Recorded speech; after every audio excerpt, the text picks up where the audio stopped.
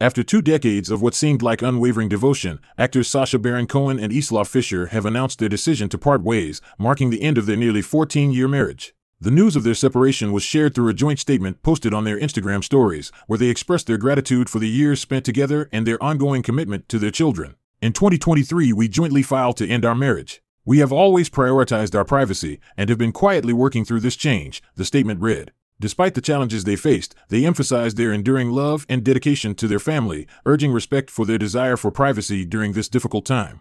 The couple's journey began in 2001 when they crossed paths at a party in Sydney. Sacha reminisced about their initial meeting, recalling Isla's humor and their shared amusement at the pretentiousness of the event. Their connection was instant, leading to an engagement in 2004 and a wedding in Paris in 2010, after Isla embraced Sacha's religion, Judaism. Together, they welcomed three children into their lives daughters Olive and Elula, and son Montgomery. Their commitment to each other and their family seemed unwavering, but recent reports suggested that they had been leading increasingly separate lives. Speculation intensified when Isla was seen without her wedding ring, prompting rumors of trouble in paradise. Despite attending events separately in recent months, such as the CAA Oscar Party and the Vanity Fair Party, the couple maintained a united front publicly. However, behind the scenes, they were navigating the complexities of their changing relationship. Sacha's solo appearances at high profile gatherings and Isla's independent outings hinted at the growing distance between them.